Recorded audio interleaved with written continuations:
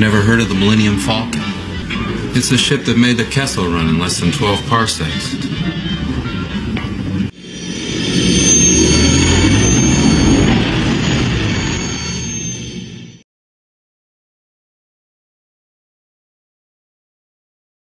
Hey, Star Wars fans and action figure collectors, welcome back to another action figure review. Lucky enough to pick up this Obi-Wan Kenobi 3-pack just recently. Uh, I managed to, I'm glad I sort of held off. I've been sort of keeping an eye on it on Amazon and stuff. But uh, yeah, popped up on eBay for 60 Australian dollars posted and then the seller offered a 10 $10 discount. So I thought, you know what, I'm going to grab it. It's 50 bucks. That's, uh, you know, almost like it's just over 15 bucks a figure, which is pretty damn good for these days because it's uh, you know, it's nearly 35 bucks a pop at retail here these days. So yeah, very excited to get these ones. I was never really that fussed if I missed it, you know, like you know, they're you know, the Jawa. It's a second, you know, it's like second tier character. I never got the uh, Purge Trooper in Black Series, and uh, I did get those two in Black Series, and the Obi-Wan was actually really good. So, um, We'll see if it can top the uh, Jabiim one because that was an absolutely fantastic figure. But I've got a feeling it's going to be more in line with the uh, just the Wandering Jedi figure. So I thought I'd share the box um, before we get into the reviews. And um, yeah, I think I'm just going to start with with Teeka the Jawa, and we'll make our way through the list. And uh, yeah, we'll be doing the uh, individual reviews for the rest of the week. So uh, yeah, let's check it out.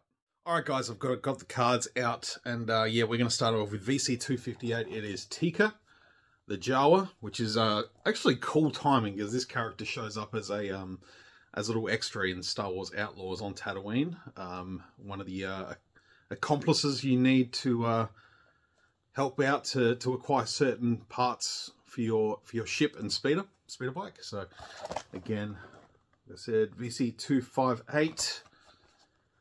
This one's come nice and unpunched. Looks good in the packaging. Looks pretty good in general. Um, I do like the Obi-Wan Kenobi logo. Yeah, I'm not sure why they can't come unpunched every other time. It's not it's not a big deal for me being an opener, but you know, for the carded collectors that like to keep them as pristine as possible, um, yeah, it's just I don't know.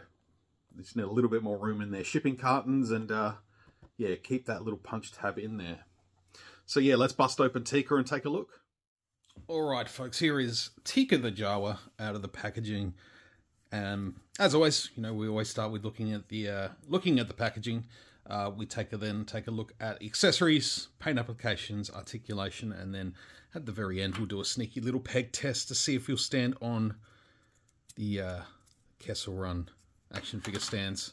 Um, so yeah, it comes with the little sort of Jawa.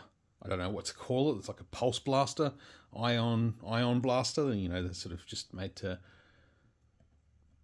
blast and stun, basically. You know, like the paint job on it. A sort of dirty, worn metal look. It looks good.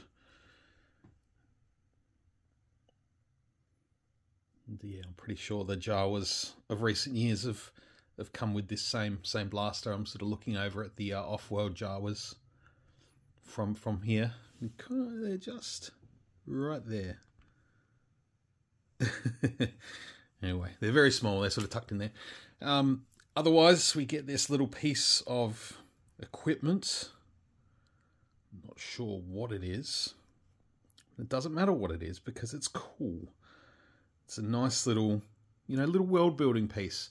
You know what I'd love to see is um, almost like the trolleys, that yeah, like like the hover sled sort of thing that the jar Jawas can sort of push around. And then otherwise we get this other thing. It's like a continuum transfunctioner or something. I don't know. No idea. It almost looks like a radiator or something. um, but again, cool accessory. Little bit of paint work there, which just you know, adds a little bit to it, which is cool. All right, so there's the accessories. Um, if you'd like to include the accessory, you'd probably say the vest and the belt. You'd essentially take these off and just make a generic Jawa. Um, Teeka is really very much sort of defined by the vest. That's sort of what makes Teeka stand out from other Jawas. But yeah, if you just wanted another Jawa in your collection, you know, you take the vest off and then you put the bandolier back on and you've got yourself a pretty standard looking Jawa. But otherwise, it's pretty cool. I do like the uh, the knot on the back of the hood. I don't think we've seen that before. So it looks like a a new a new thing for Teeka. Get a nice close up of the quote unquote face.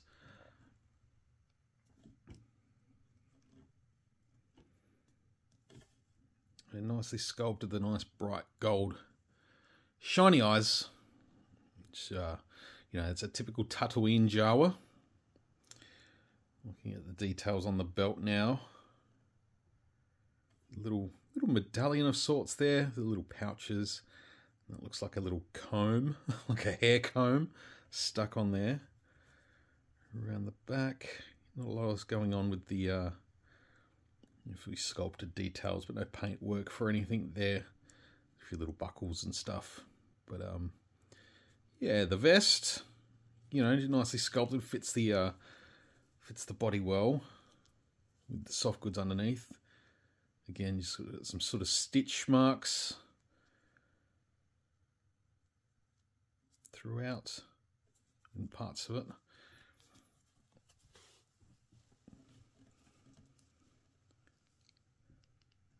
I'm going to almost take the hood off. I'm not going to.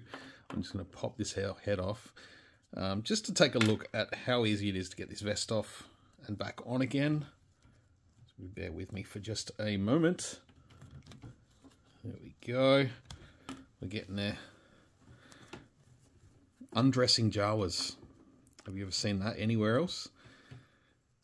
I bet you haven't. Alright.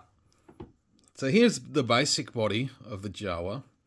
So we are just going to go through and do articulation while we're looking at it. Obviously, ball and socket in the head. There's a ball hinge in the shoulder, ball hinge in the elbows, there's just some swivels in the wrists there. There's a swivel at the waist. Swivel at the hips there. No knees, no ankle articulation. I don't think many of them have had that anyway. I don't think any of the off-world Jawas had that kind of extra articulation anyway. So more or less, I'm pretty sure this is just the same body um, as many Jawas that have been out in recent years. But yeah, the soft goods is done well. It's a nice fabric. There's no little bit of fraying on the edges, but that sort of just adds to the character. Being able to make them look a little bit desert worn and you know they're not meant to be clean. I don't, I don't think Jawas do laundry. For all I know, there's a you know Sandcrawler Jawa shower day. I've got no idea. Still a lot to explore with the with the Jawa Jawanese culture. I don't even know if it's Jawanese. I'd...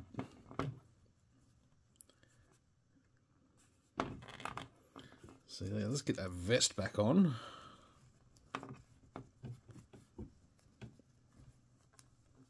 So yeah, not something I'll be doing too often is uh, undressing the Jawa. It's not something I've ever done before. Not something I ever thought I'd ever do either. So saw it here first, folks. If you've never seen a Jawa get undressed. so there we go. Get this belt back on and we pop that head back on. And give Teeka the, uh, the little blaster.